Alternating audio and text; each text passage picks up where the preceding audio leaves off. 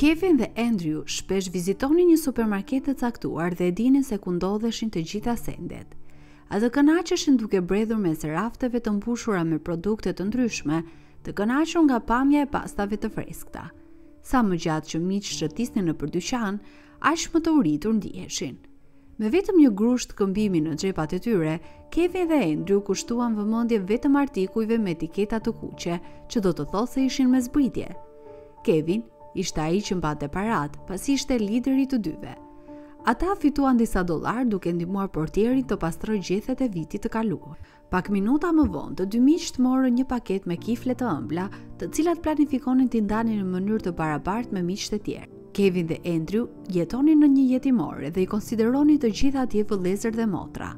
Pasi morën kutinë me kifle, djemtë u drejtuan te sporteli i arkës duke kaluar pranë një plaku të strukur që kërkonte diçka në raft me perime të konservuara. I moshuari kishte veshur një palto të vjetër dhe pantalona me arna në gjunjë. Këpucët e tij të konsumuara dukeshin sikur mund të copëtoheshin në çdo sekond. Kevin iu afrua arkëtarit, i përgatitur të paguante për sendet. Arkëtari i hodhi djalit një vështrim të hollësishëm dhe i tha, Kjo do të jetë gjashtë dollarë. Kevin futi dorën në xhepin e xhinseve për të nxjerrë paratë, por sado që kërkoi, paratë nuk ishin aty.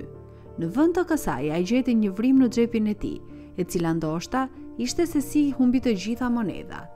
Ai e dinte se duhet të kishte mjaftueshëm para për blerjen. Arkëtari u rrudh në fytyrë dhe tha, çfarë po pret? Po planifikon të blesh kiflet apo jo? Nxito se ke një radhë pas teje. Më falni zonjë, më jepni një sekond, mërmëriti Kevin. Ai kurrë nuk ishte ndjerë aq i turpëruar sa në atë moment. Sytë iu mbushën me lot, ai nuk kishte para. Arkëtarja u vrenjt dhe i tha djemve të largoheshin nga dyqani. Pa para, s'ka kifle. Dil nga këtu dhe as mos mendo të kërkosh para, nuk do të të jap asnjë cent. Unë nuk jam një milionere që të ndihmoj çdo lypës të vogël. Kevin donte të përgjigjej, por nuk e bëri. Duke ditur se kjo do të çonte vetëm në një situatë edhe më të sikletshme. Për më tepër, arkëtarja mund të thërriste rojen në çdo moment. Zhgënjimi po shtohej kur plaku i strukur shtyu rrugën drejt sportelit të arkës, i njëjti njeri që kishte përzgjedhur me përpikmëri mallrat e konservuara më parë. Ai ndaloi për një moment dhe më pas i dha arkëtares 10 dollarë duke i thënë: "Ja, kjo duhet të mjaftojë." Arkëtarja pranoi paratë, pastaj ajo tha: Duhet të mendosh për veten plak, por vazhdoni të ndihmoni të tjerët. Këta lypës rrugësh, secili prej tyre janë thjesht mashtrues dhe hajdutë. Duke injoruar komentet e saj, i moshuari u drejtua drejt daljes. Djemtë më në fund morën kiflet dhe dolën me shpejtësi jashtë. Të dy faqet e tyre ishin skuqur nga turpi, pasi nuk ishin mundur t'i shprehnin mirënjohjen e tyre plakut. Kujdestari i tyre, zonjusha Murphy, theksonte gjithmonë rëndësinë e të qenit i sjellshëm.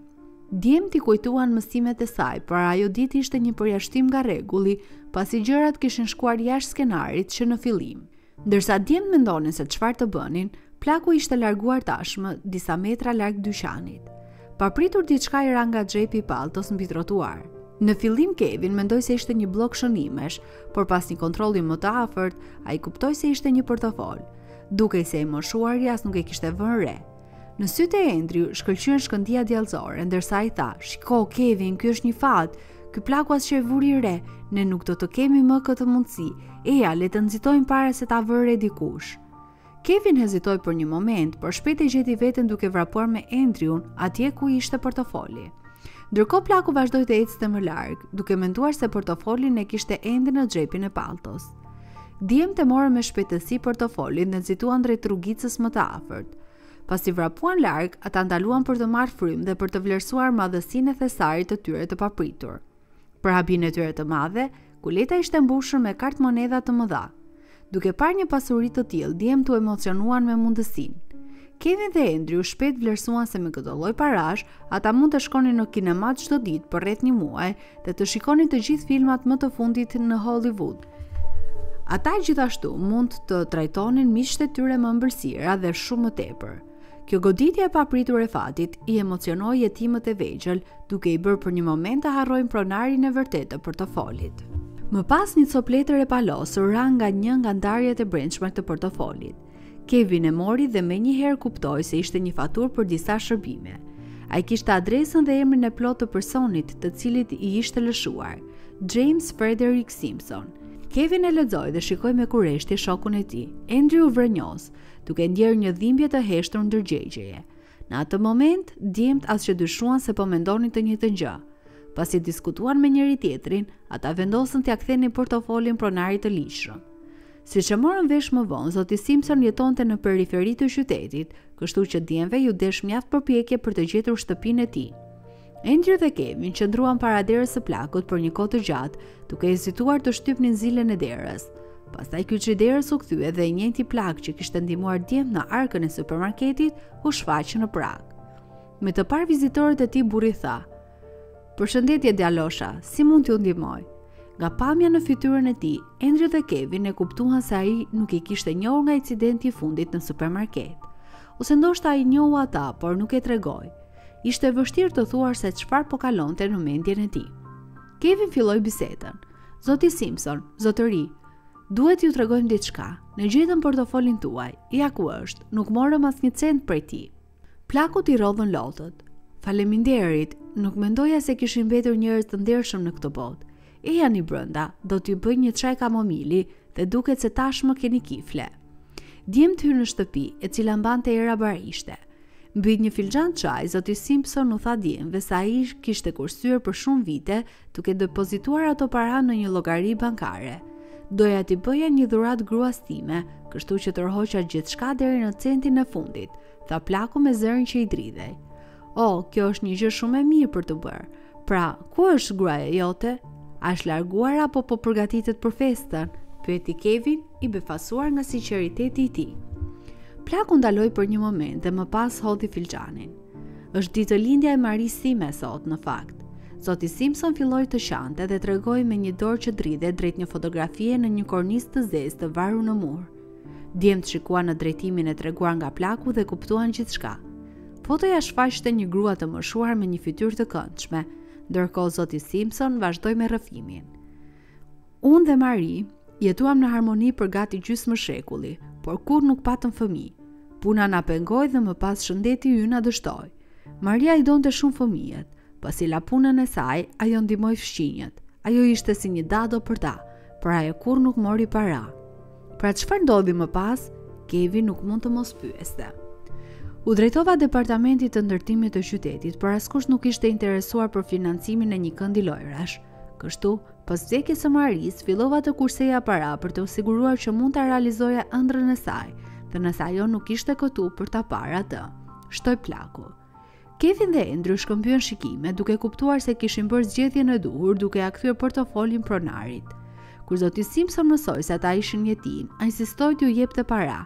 Jo, merre, të lutem, mos thua jo, blini vetes disa ëmbëlsira dhe për shokët. Festoni ditëlindjen e Marisë sime. Nuk më ka mbetur shumë kohë. Nuk mendoj se do të arrij të vendos gjithçka në atë shesh lojrash. Sigurisht djemtë refuzuan menjëherë, por zoti Simpson insistoi. Vetëm kur djemtë morën paratë, ai u qetësua dhe buzëqeshi për herë të parë pas shumë kohësh. Ata u ndanë si miq të vërtetë dhe kur Andrew dhe Kevin u kthyen në jetimore, gjëja e parë që bënë ishte t'u tregonin kujdestarëve dhe miqve të tyre për mirësinë e zotit Simpson.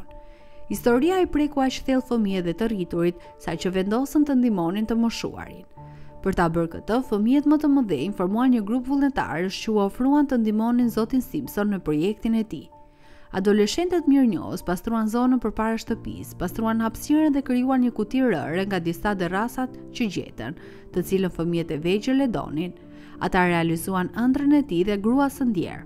Duke parë nga dritarja fëmijët që luanin në oborr, zoti Simpson përjetoi një ndjenjë të papërshkrueshme gëzimi, duke kujtuar fëmijërinë e tij të shkujdesur kur luante në rërë dhe ndërtonte kështjella rëre. Ndërkohë Andrew dhe Kevin vazhduan të vizitonin plakun me një zemër kaq të madhe dhe të sjellshme. Zoti Simpson u bë një shembull për djemtë, duke u dhënë atyre udhëzime për shumë vite në vijim. Fatkeqësisht i moshuari ndërroi jetë dy vjet përpara se Andrew dhe Kevin të diplomoheshin. Duke parashikuar vdekjen e tij të afërt, Zoti Simpson ua la trashëgim shtëpinë e tij djemve në mënyrë që ata të kishin shtëpinë e tyre. Ishte një dhuratë e pabesueshme për dy jetimët.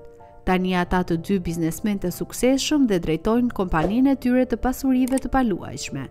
Mirësia kthehet gjithmonë dhe ky incident me portofolin është konfirmimi i qartë i kësaj.